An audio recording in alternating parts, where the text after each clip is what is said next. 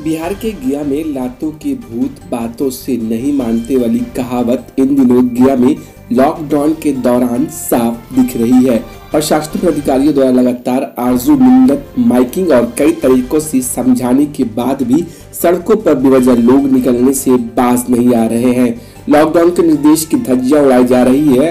अंतः थक हार कर अपर अनुमंडल अधिकारी राजीव रोशन ने सड़कों पर बेवजह तफरी करते लोगों की जमकर धुनाई की।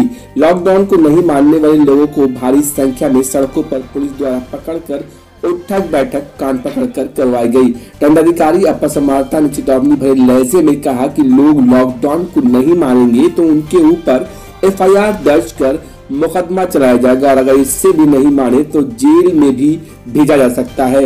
हर हाल में देश भर में कोरोना से छाई महामारी के खिलाफ लोगों को घर में रहने के लिए हर संभव कोशिश की जाएगी। किसी भी हाल में लोगों को बेवजह सड़कों पर घूमने की इजाज़त हरगिज नहीं दिया जाएगा।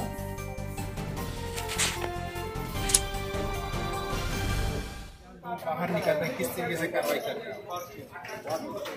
ये लॉकडाउन के दरमियान जो है लोगों को जिस सोशल डिस्टेंसिंग के लिए कहा जा रहा है उस सोशल डिस्टेंसिंग के अनुपालन के लिए हम लोग जो है सो कटिबद्ध हैं और जिला प्रशासन उसी अनुपालन में आज सड़कों पर है।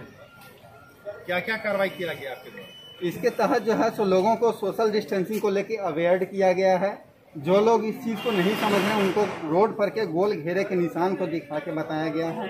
जो उसमें भी थोड़े से नहीं मानने वाले हैं उन लोगों को दंड दिए जाने की चेतावनी दी गई है और बाकी लोगों को जो किराना दुकानदार हैं और जो वैसे लोग हैं उन लोगों को रेट लिस्ट लगाने के लिए जो विजुअल टाइप हो उस तरह का निर्देश दिया गया है।